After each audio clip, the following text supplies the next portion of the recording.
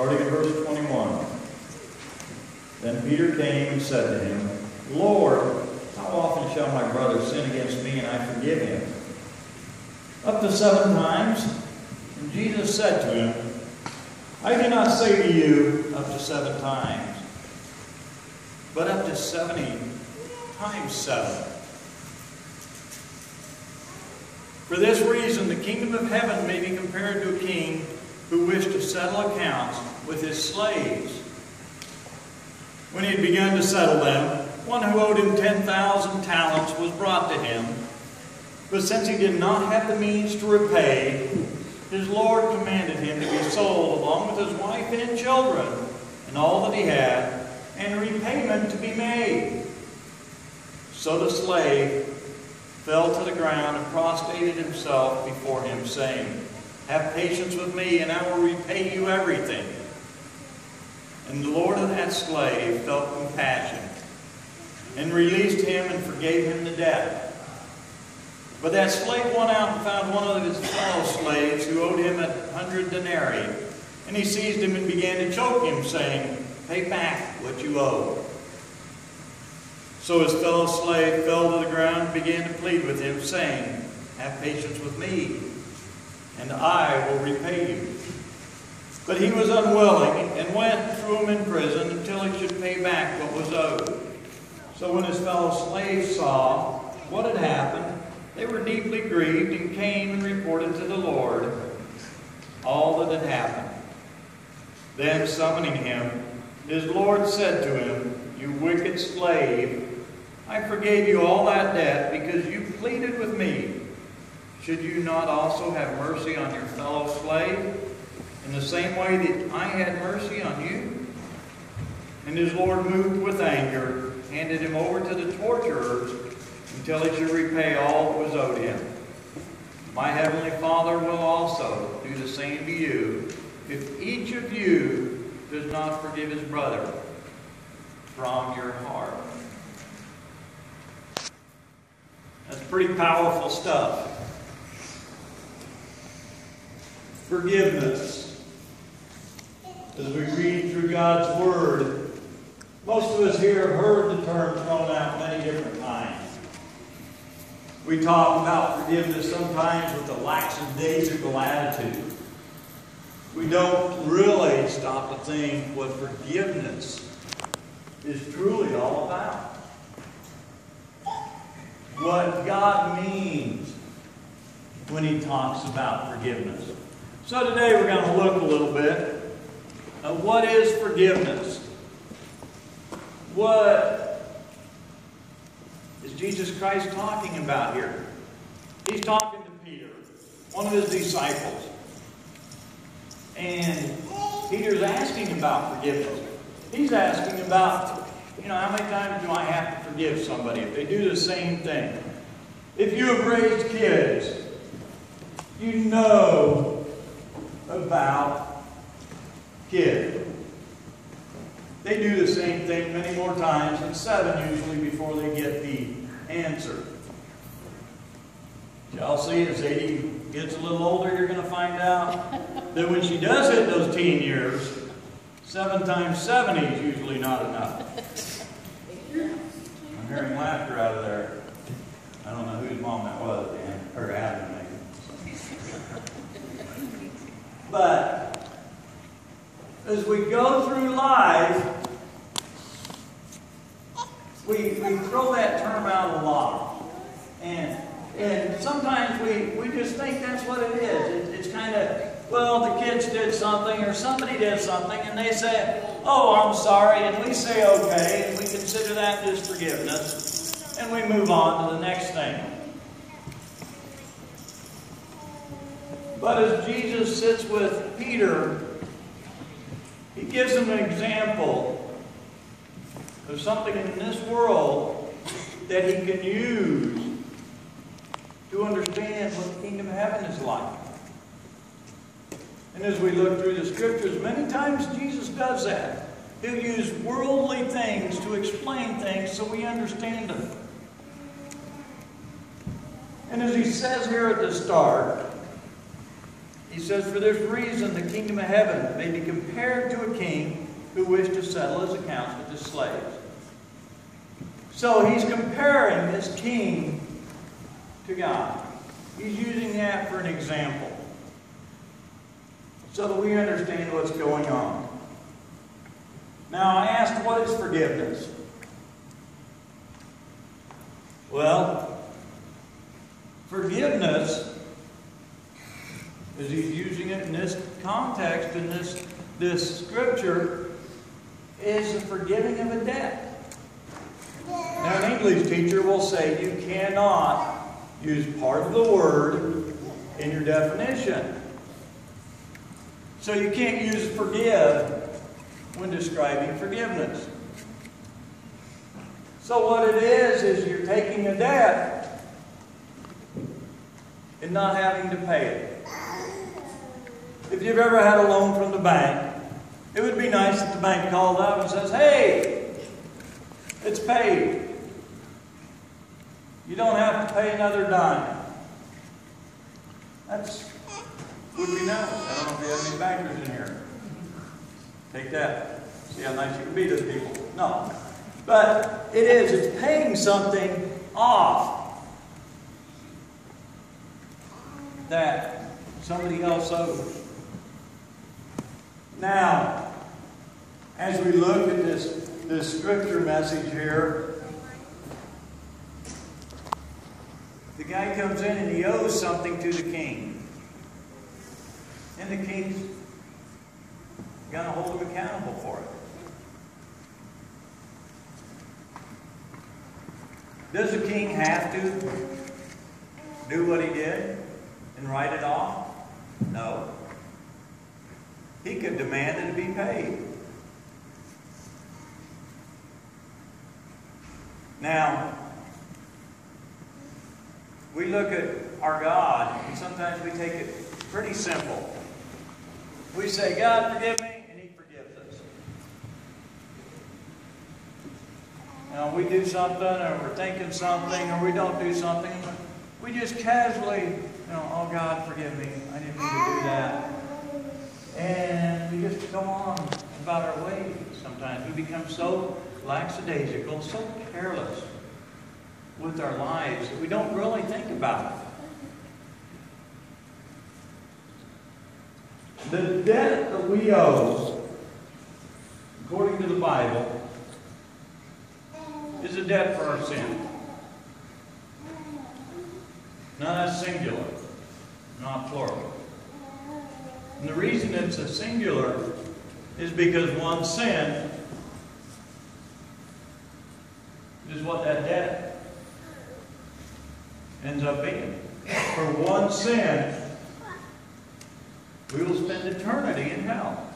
The Bible is very clear about that. Now, I have many more sins than one. So I have many more debts. There's only one eternity I could spend in hell. But I had many more debts than just the one sin. And the forgiveness we got for that one sin was something I didn't deserve. God has every right to give me what I, I deserve, what I owe. Because the wages of sin are death. And so, because of sin, we had total separation from God. Every one of us here had total separation. We owed a debt. Just like the slave did to the king, we owe a debt. Now, God cannot have any sin in his presence because of his purity. There was no way God could have sin around him because of purity. The two don't mix. So that debt had to be paid somehow. Now, the king in the story, he paid the debt. The money was still owed, but he took it and he paid it. And that's what we have in Jesus Christ. Is God decided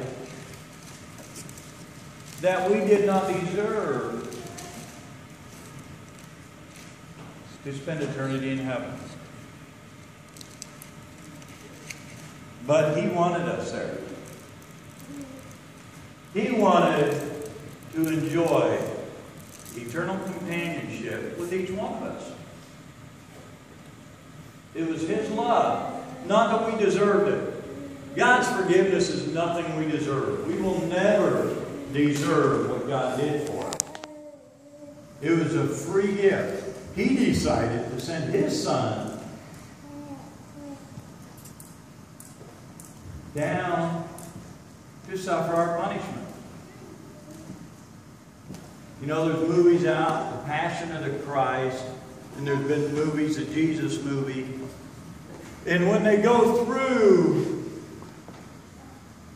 the, the torture that Christ was put through, the crucifixion on the cross,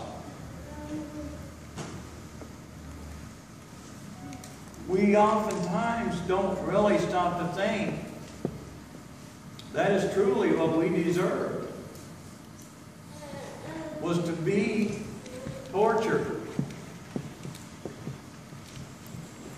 for our sins, to be sent,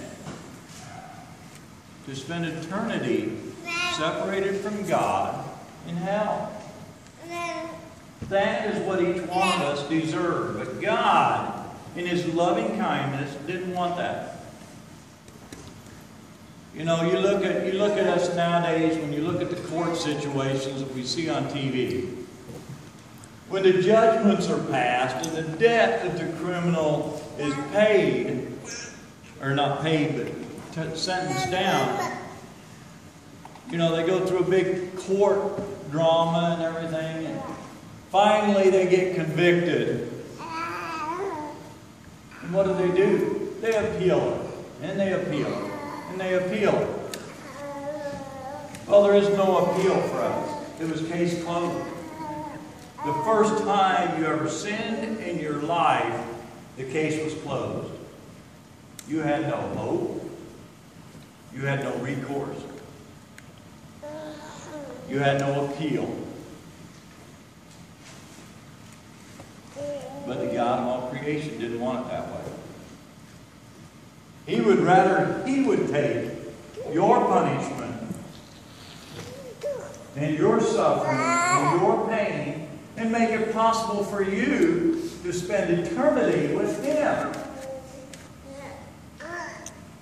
That's what forgiveness is about. He paid what you owe.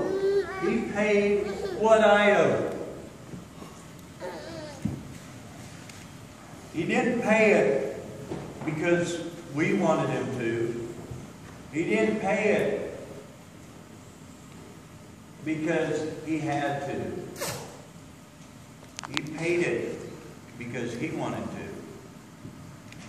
He loved us so much that he wanted to pay our, our debt. He went to the cross for me. He took my stripes that should have been on my back, the beatings I should have taken. He took them. And he went to the cross for Don Buttry personally. And he went to the cross for each one of you personally. You know, John 3.16, most of us here can quote it. We've quoted it many times. In fact, we've quoted it to where we really start to lose the meaning of it. But next time you read it, I want you to put your name in there. For God so loved Don that he gave his only begotten Son, that if Don believed in him, Don would have eternal life and not perish. That's pretty powerful. We bring it down to a personal scale, one on one. My debt was paid. Is your debt paid? Have you accepted Jesus Christ? Have you accepted the forgiveness? Now, if you've accepted that forgiveness, I've got a question for you. Have you ever passed it on? And I'm not talking about passing on, just sharing the gospel. That's not what this message is about. That's not what the king was doing here. What the message was about was the slave received forgiveness. The king paid his debt, and it was a huge debt. But yet the guy goes out and he looks at somebody else. And he doesn't look at him with love and forgiveness. He holds that sin against that person. He holds what that person lives like, what that person has done against him. And I would guess everyone in this room has done that at different times. I know I have.